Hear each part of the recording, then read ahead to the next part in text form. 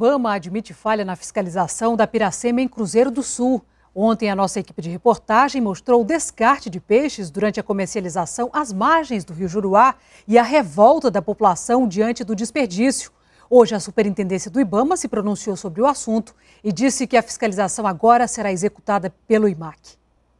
A fartura de peixes durante a piracema do rio Juruá também trouxe o desperdício do alimento e um alerta sobre a falta de fiscalização ambiental em Cruzeiro do Sul. Diante da abundância de peixes, muitas espécies foram entregues aos urubus, enquanto a comercialização borbulhava às margens do rio Juruá. As imagens da TV Gazeta chegaram ao conhecimento da Superintendência do Ibama, que admite falha na fiscalização da pesca predatória. O período da piracema trófica, quando os peixes sobem pelo leito do rio à procura de alimento, acontece durante a vazante dos rios.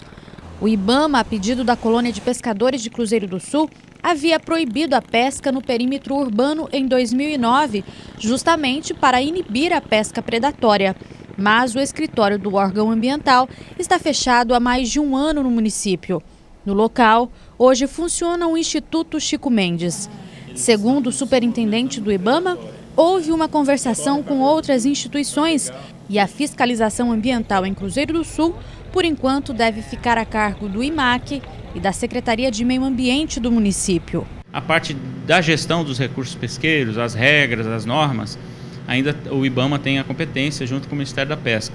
E isso é uma das práticas que é, é, estão sendo descumpridas lá, né? É, a questão das normas de pesca e por isso está sendo chamada de predatória. Segundo informações do IMAC, uma nova piracema deve passar por Cruzeiro do Sul no próximo final de semana.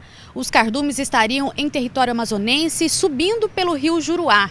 Desta vez, a fiscalização promete que vai atuar de forma incisiva contra a pesca predatória.